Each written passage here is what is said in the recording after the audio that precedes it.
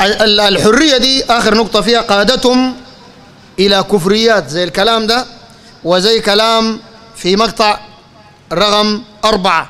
جزء آخر من قضية الحرية بالنسبة لي هي الحرية المتعلقة بالتعبير حرية التعبير.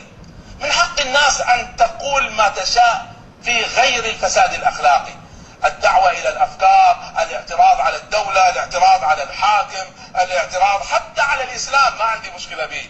حتى الاعتراض على الله تعالى وعلى رسول الله. من حق الإنسان أن يختار الدين الذي يراه ومن حقه أن يختار الطائفة يريد أن يكون شيعي سني درزي هو حر. ومن حق كل إنسان أن يعبد الرب الذي يختاره بالطريقة التي يختارها. فلا تمنع كنائس ولا تمنع معابد ولا من حق الناس ولا يواجه.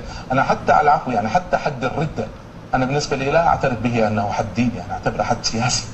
أول حاجة قال بالنسبة له في قضية الحرية قال في غير الفساد الأخلاقي. يجوز تعترض على الدولة والإسلام أو حتى على الله ورسوله تعترض. قال ما عندي مشكلة. أنا ضربت كلامه من البداية قال في غير الفساد شنو؟ الأخلاقي الأخوان المسلمين بيروا الفساد الأخلاقي أكبر من الشرك بالله الأكبر. ولهذا السبب بتلقى الأشرطة والمحاضرات بتاعت الأخوان المسلمين وأشباههم كلها في الرغاية والأخلاق. لأنه بيروا ده الأساس الأساس ما التوحيد. ودي قال لكم الآن منو؟ طارق السويدان. عشان كده بتلقى محاضراتهم كلها ناس خالد الراشد ومين سفر وبتاع كلها في البكا وفي كده وفي الأخلاق وفي كده. مع إنه ده من الدين لكن أساس الدين شنو يا جماعة؟ العقيدة والتوحيد. وعشان كده بتلقى أذنابهم وأشباههم زي ناس العدسي ومحمد الأمين إسماعيل وغيرهم برضو محاضراتهم من النوع ده. صفي قلبك وما عارف شنو كده كلها كده. عرفتها؟ كلها بتلقاها كده. ليه؟ لأنه عنده موضوع الأخلاق ده هو الأهم. حتى وإن كان أذنابهم دل بالخشم لا التوحيد أهم. طيب ادعوا له؟ بيخليه ما بيدعوا له. تحضر له درس أربع ساعات. يحكي لك قصة. قصة.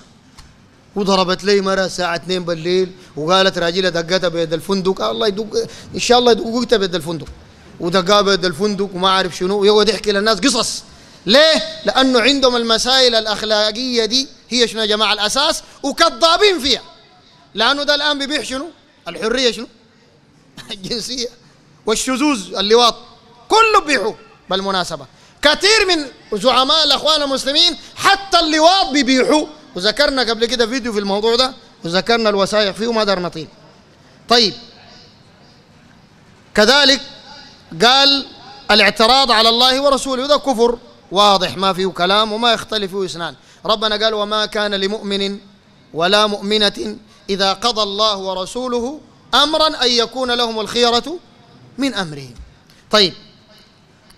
ومسألة الرب الذي يراه كده ردنا على مسألة الردة النبي عليه الصلاة والسلام قال لا يحل دم امرئ مسلم يشهد أن لا إله إلا الله إلا بإحدى شنو؟ ثلاث. الثيب الزاني والنفس بالنفس والتارك لدينه المفارق للجماعة وقال صلى الله عليه وسلم من بدل دينه فاقتلوه.